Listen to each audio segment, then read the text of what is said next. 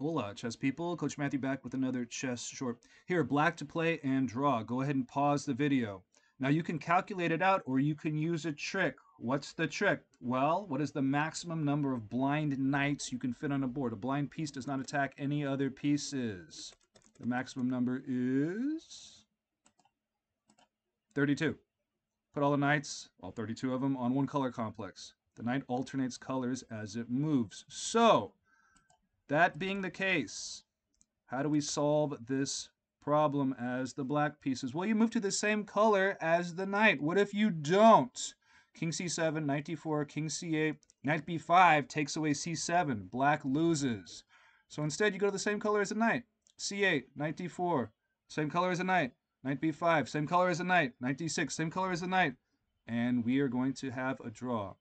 In these situations, there's a trick. Move to the same color as the knight. Thanks for watching.